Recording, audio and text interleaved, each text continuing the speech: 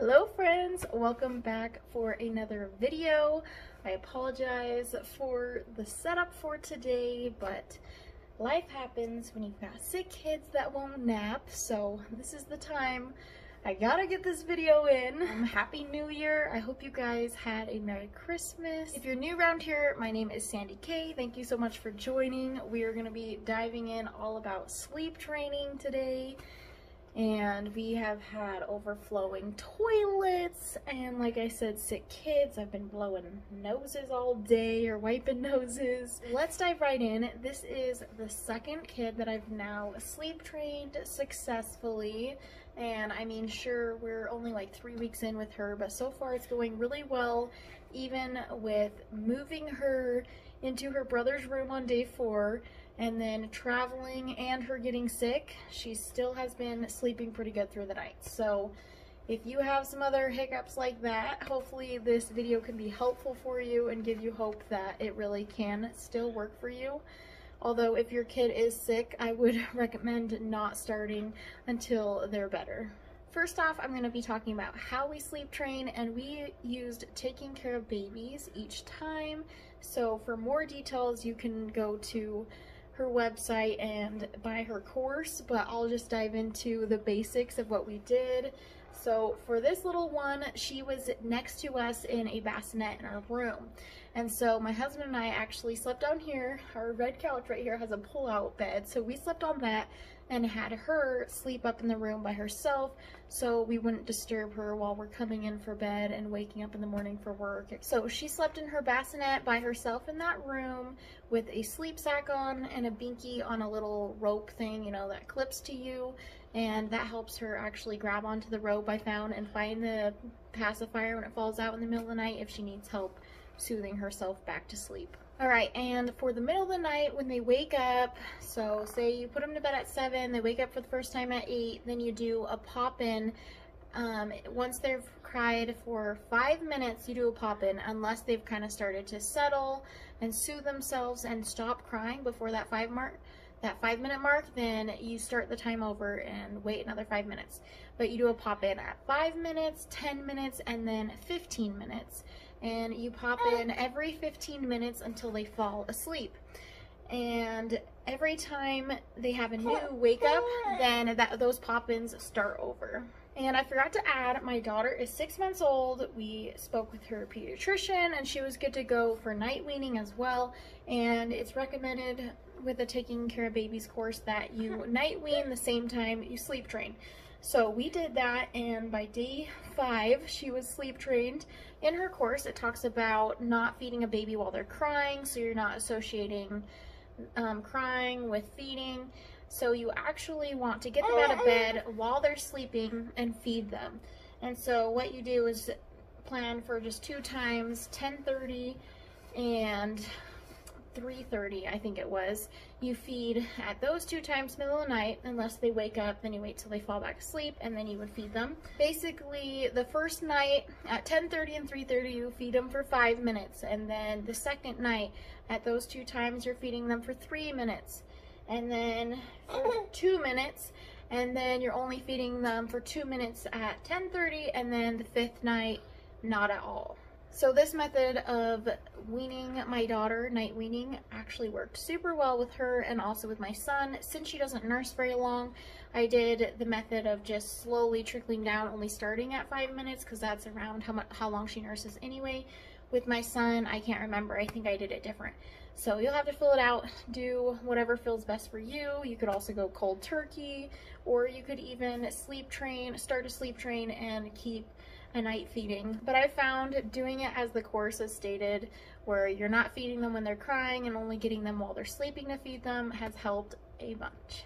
Now on to how it actually went for us, what it looked like in the middle of sleep training. To be honest, it was really not that bad. I was so surprised because with her personality, I just thought it was going to be so much harder than with my son. And honestly, I felt like it was easier. So yay don't have hope, don't be too scared.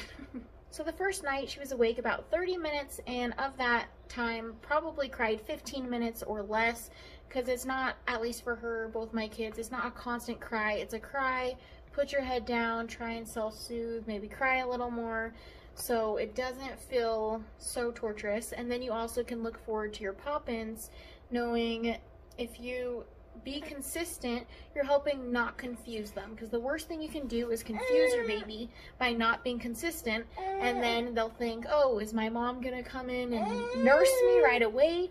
Or is she going to make me cry it out for 10 minutes? So just be consistent. I think that's the best thing you can do is just stick with the time intervals for the pop-in. So that first night of sleep training, my daughter only woke up three times. The first time at 8.30, she fussed for a minute or two and then fell back to sleep. She woke up at 9.33 and at the five minute mark, she was starting to self-soothe. So I pushed the first pop-in back to another five minutes and then I went in quickly, just say, mommy's here, pat her bum, on the first two nights, you can do simple touch, and then the nights after that, you just use your words. But just popped in and said, You're okay, mommy loves you, I'm here for you, baby, go back to sleep. And then I had to do one more pop in at that point, 10 minutes later, and then she fell back to sleep by 10 10 p.m. And then her last wake up was at 1.35 a.m. She woke up and put herself back to sleep. And then at 7 a.m., she was awake, cooing, and happy. And I've got to go get the dinner out of the oven.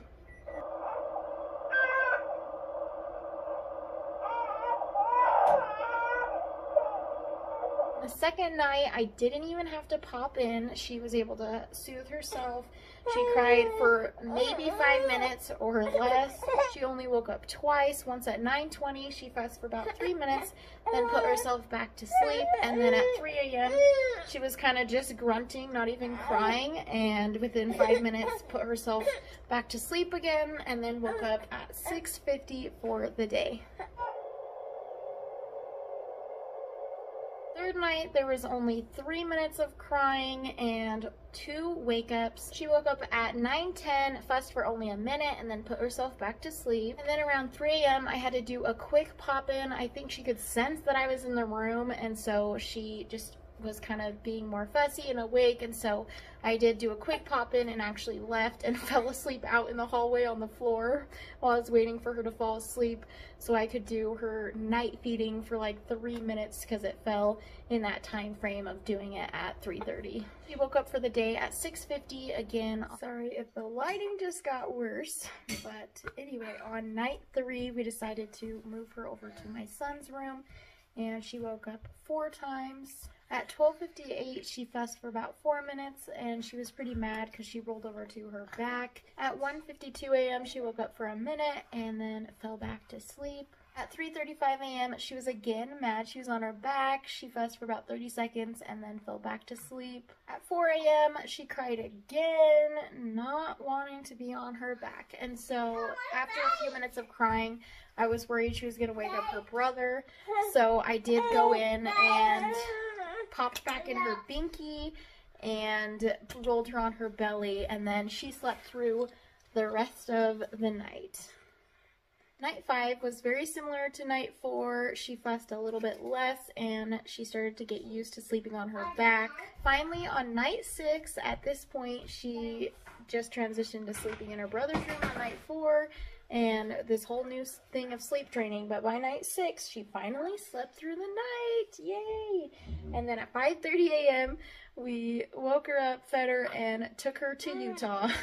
and while we were traveling, I was super surprised. She did super great with sleeping through the night still. She might have woken up once or twice some nights, but she would put herself back to sleep. I didn't really have to do a pop-in except for maybe once when this week she's been sick, um, then I would have to go in and settle her down maybe once, give her her binky and put her back on her belly. But other than that, and maybe feed her a little bit earlier than normal, um, just like at 5 a.m. And then she would go back down for another two hours or so. With traveling, what works best for us is having her in her own space. So we had her in the blackout tent or the slumber pod, and we like to put her in her own room too. We did the same thing like the whole first year with my son of sleeping. Tried to always have him in his own space. And now that my son is two and pretty great at sleeping, we'll have him in our room with us, and then he does fine. Well, that is everything for sleep training, how we did it, how it went for us. I hope this was helpful, and I hope the rocking back and forth wasn't too distracting, and the coughing and whatever else in the background, the lighting, everything. Thank you so much if you've watched to this point.